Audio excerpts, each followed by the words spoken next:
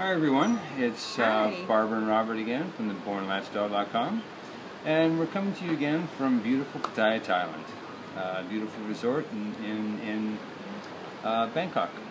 So today we want to, we really want to share with you the importance of having a short-term and a long-term goal.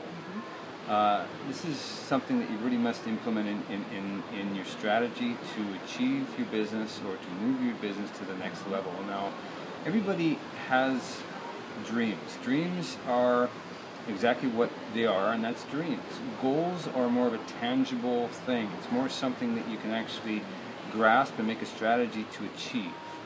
So when you come to these masterminds, one of the main things that they teach you is that there's a strategy to get to the goals that you set out when you originally think about where you want to be in your business. The first level, the second level, the third level as you scale up in your business. So you want to think and say, where do I want to be in six months or 12 months? Um, you want to put your strategy down on paper and you want to go after that goal. Now, my wife has some more things uh, to comment on with that. So, honey, So when it comes to internet marketing, the most important goals could be income, generating traffic, marketing strategies, um, getting long-term customers, person, personal discipline versus procrastination.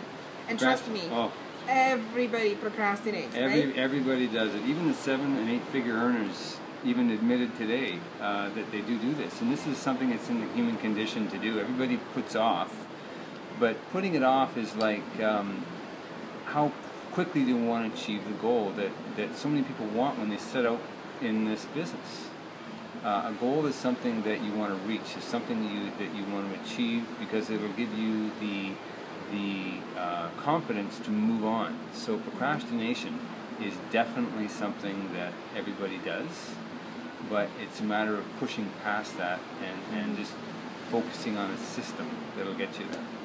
For sure. And um, discipline is not just the only one. Also, money. Be careful how you uh, talk about the money, how you think about the money. Be realistic. Okay. So if you are one of those people who are uh, making just ends meet right now, don't set yourself for failure by giving yourself um, expectations that are not achievable within the first 12 months, for example. Okay? So sometimes small steps, Mhm. uh, a small increments of your income goals could be much more achievable than huge leaps. Yeah, actually, an example that was done actually this morning was think of your your journey or your your way to your goal as a baby. I mean, people some people have babies, they don't, but you know that a baby has to do crawling in small steps before it learns how to balance and move forward to a table or, or another parent or, or something or toy. Same thing goes with your goals. You got to do it in small steps. As long as you're moving forward, and you know failure is going to happen. It's just an, it, it's just nature of the business, which we discussed in a previous uh, in a previous video. But you know, the the the idea of, of moving slowly forward towards your goal, step by step. It doesn't have to be a big move. It just has to be that you're moving in the right direction towards your goal.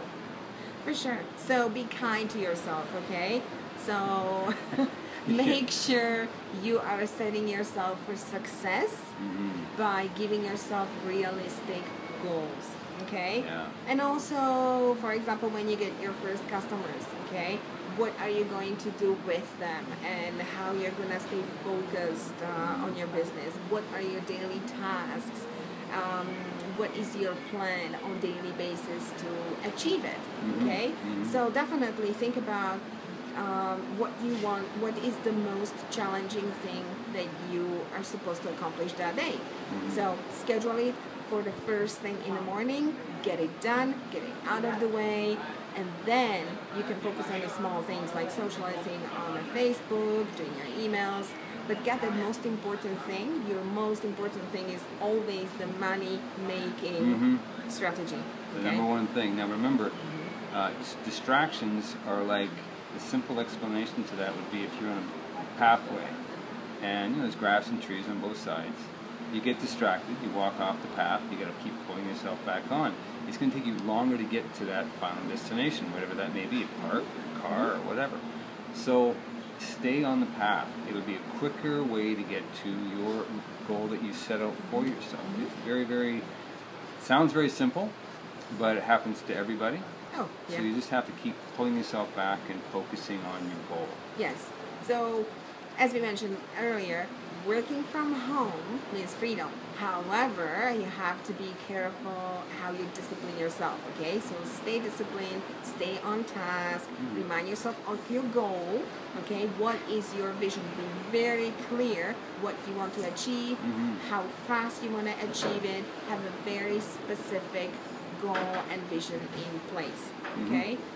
And if you follow these steps, if you follow, you know, make up your short-term goal, make it a long-term goal, have a very clear vision, break it down into not just a year, but months, weeks, and days. And then if you follow it, you are definitely going to be successful. You're going to get there. You are going to get there. And it's all about mindset. It's all about what you want. It's all depend, depends on how you want to get there and achieving that.